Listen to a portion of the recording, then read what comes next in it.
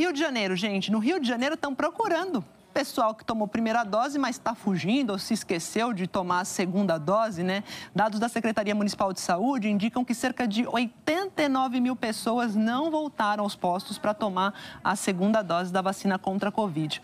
Então, a Prefeitura decidiu fazer uma busca ativa. Eles ligam para quem está atrasado e, em alguns casos, até mandam um profissional de saúde aplicar a vacina lá na casa dessas pessoas.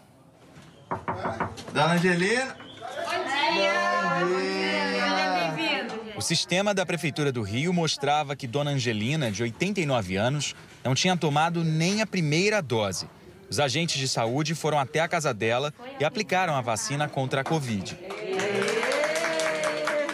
Na visita, aproveitaram para dar a segunda dose na filha de Dona Angelina. Na buscativa dela, encontramos você para poder aplicar a segunda dose. Tá certo, tá bom, vamos lá. A estratégia da prefeitura é ir para a rua, correr atrás dos atrasados da primeira e da segunda dose. Seu Alarico tem 76 anos, é para-atleta. Ele está se mudando de casa e perdeu o dia da vacina. Recebeu a ligação da prefeitura e marcou com os agentes que vieram até a casa dele. Eu me sinto feliz por cumprir uma situação de cidadania. Está entendendo? Contribuir para a imunização do país todo uma andorinha, não faz, uma andorinha faz verão no conjunto delas todas, né? Então eu me sinto muito feliz em estar podendo me vacinar.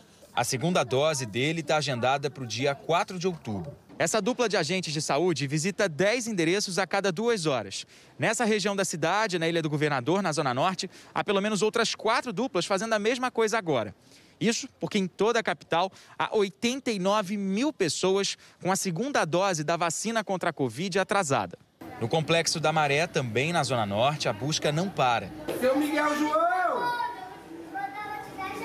Ah, fala, né, menino? Eu vou dia 27. Ele quem não, cara? É quem? Miguel João. Acabou de sair ele e a esposa. Antes de ir para a rua, os funcionários fazem um levantamento das pessoas com doses atrasadas. Hoje, na área desse posto, eram 433. Alô, bom dia. A gente visualizou que o seu José ainda não fez a segunda dose da vacina do Covid. Ele está na residência nesse momento? A agente explica que nem sempre é fácil encontrar os atrasados. A gente não, geralmente não consegue falar via telefone, porque às vezes eles modificam o telefone, não vêm avisar. Então a gente tá, tem, tem que estar sempre indo na casa do paciente. Mas quando conseguem falar com eles e ainda aplicar a vacina, a sensação é de missão cumprida. Cada vez que a gente busca essas pessoas e consegue achá-las, imunizá-las, é um ponto de vitória para a gente estar tá tentando amenizar ou até mesmo acabar com esse vírus que está derrubando tantas pessoas. Dá um alívio, né? Uma esperança.